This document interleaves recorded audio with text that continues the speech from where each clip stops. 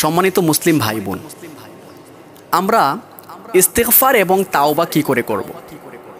ইস্তেকফার হচ্ছে আপনি আপনার খারাপ কাজের জন্য, আপনার পাপের জন্য আল্লাহ সুবাহানুয়া তালার কাছে ক্ষমা চেয়ে নেয়া। অর্থাৎ আপনি এখন একটা পাপ করেছেন, আপনি একটা খারাপ কাজ করেছেন।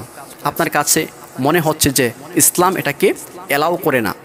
শরিয়া এই পাপ কাজটাকে অ্যালাউ করে না। আপনি ভয়ে আছেন। আপনি সাথে সাথে আল্লাহ সুবাহানুয়া তালার কাছে ইস্তেকফার করে নেন। আর এর বিনিময়ে আল্লাহ সুবাহানুয়া তালা আপনাকে ক্ষমা করে দিবেন। আল্লাহ আকবার। আপনি যখন ইস্তেকফার করবেন, আপনি ক্ষমা পেয়ে যাবেন। আর এই ইস্তেকফার করতে আপনাকে উজু করতে হবে না। আপনার নামাজ লাগবে না। আপনি বিনা উজুতে নামাজ ছাড়াও আপনি ইস্তেকফার করতে পারেন। যখন আপনার পাপ হয়ে গেছে, আপনি সাথে সাথে বলে ফেললেন আস্তাক ফিরুল্লাহ যে আল্লাহ, আমি আপনার কাছে ক্ষমা চাচ্ছি।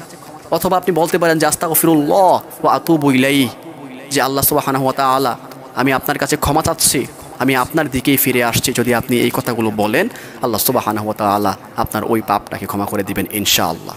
এখন কথা হলো যে আপনি তো ইস্তেকফার করলেন ইস্তেকফার করার সর্ব ছোট যেই বাক্যগুলো আছে, এই বাক্যগুলো হচ্ছে আস্তা গফিরুল্লাহ আস্তা গফিরুল্লাহ আতুব ইলাই আপনি চাইলে সাইদুল ইস্তেকফার তারপরে অন্যান্য যে বড় বড় ইস্তেকফারগুলো আছে সেইগুলো আপনি পাঠ করে তারপরে আল্লাহ সুবাহানা হাত আল্লাহর কাছে ক্ষমা চাইতে পারেন।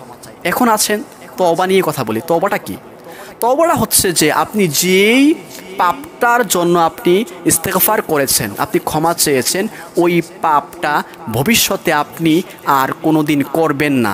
আপনি যে ভবিষ্যতে এই পাপটা আর কোনো দিন করবেন না, সেই প্রতিশ্রুতি আপনি আল্লাহ সুবাহানহত আলাকে দিয়েছেন। অর্থাৎ ফিউচারে কোনো দিন আপনি আর এই পাপটা করছেন না বা করবেন না, এটাই হচ্ছে তাওবা করা, অর্থাৎ ফিরে আসা। তাওবার মিনিং হচ্ছে যে আপনি ফিরে আসলেন, আপনি যে পাপটা করেছেন, সেই পাপটার জন্য আপনি অনুতপ্ত, আপনি কৃতজ্ঞ, আপনি কান্না করেছেন, আপনি কান্না করে আল্লাহ সুবাহ হানাহুয়া তালার কাছে আপনি ক্ষমা চেয়েছেন এবং ভবিষ্যতে আপনি যখন এই কোনো কাজটা, এই কাজটা আপনি আর কোনো দিন করবেন না বলেছেন তার মানে হচ্ছে যে আপনি তাওবা করে নিয়েছেন। এখন কথা হলো যে আমরা যারা পাপ করি না, আমরা কি তাওবা করব? হ্যাঁ আমরাও তাওবা করব।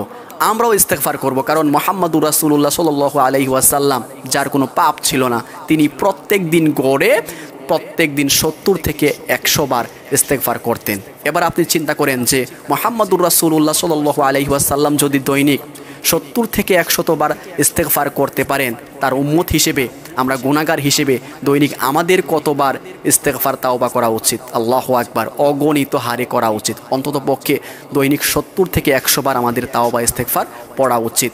তাওবা ইস্তেকফার যে শুধু আপনাকে গুণাগুলো মোছন করবে, ব্যাপারটা এমন নয়। এই তাওবা ইস্তেকফার আপনাকে যাবতীয় যত সমস্যা আছে, সকল সমস্যা থেকে দুনিয়ার মধ্যে বাঁচিয়ে রাখবে এবং হাসরের ময়দানে আল্লাহ সুবাহানা হাত আলার প্রিয় করে তুলবে।